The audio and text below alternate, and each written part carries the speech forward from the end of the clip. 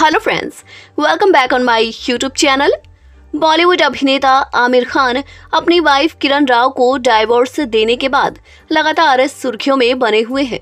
आमिर खान ने किरण राव के साथ अपने तलाक की घोषणा करते हुए पूरी इंडस्ट्री को ही सदमे में डाल दिया था। किरण खुद एक फ़िल्म निर्माता है और आमिर की दूसरी पत्नी है। दोनों ने दिसंबर 2005 में शादी की थी। इस कपल को इंडस्ट्री का परफेक्ट कपल माना जाता था। दोनों के अलग होने की खबर फैंस के लिए किसी शौक से कम नहीं थी। दोनों का एक बेटा आज़ाद भी है। यही नहीं, किरण राव, आमिर की पहली पत्नी रीना दत्ता के बच्चों, ईरा और जुनैद के काफ़ी करीब हैं।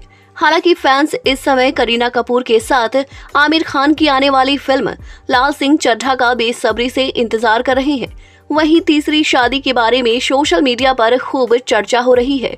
नेटिज्म न केवल आमिर खान की तीसरी शादी पर चर्चा में व्यस्त है, बल्कि इस बात की भी जानकारी दे रहे हैं कि वह कब घोषणा करेंगे। सोशल मीडिया पर चल रही चर्चा के मुताबिक आमिर लाल सिंह चड्ढा के ठीक बाद शादी करने की घोषणा करेंगे। अभिनेता यह केवल इसलिए कर रहे हैं क्योंकि वो नहीं चाहते कि उनकी फ़िल्म लाल सिंह चड्ढा को लेकर कोई विवाद खड़ा हो। इतना ही नहीं, ऐसी भविष्यवाणी की जा रही है कि आमिर अपनी पिछली फ़िल्मों की अपनी किसी को स्टार से शादी कर सकते हैं।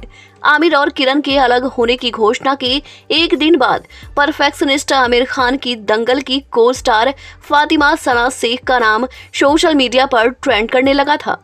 फैंस कयास लगा रहे थे कि यही है वो, जिसकी वजह से आमिर ने किरण के साथ अपनी शादी खत्म करने का फैसला लिया है। फातिमा और आमिर एक दूसरे के बहुत करीब हैं। आमिर खान उन्हें एक प्रोफेशनल के रूप में पसंद करते हैं तो एक्ट्रेस भी उन्हें अपना गुरु मानती हैं।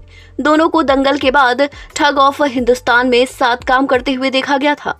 गाइज़ आपकी इस बारे में क्या राय है? कमेंट में ज़रूर लिखें। साथ ही, ऐसे और भी दिलचस्प वीडियोस पाने के लिए हमारे चैनल को सब्सक्राइब ज़रूर कर लें।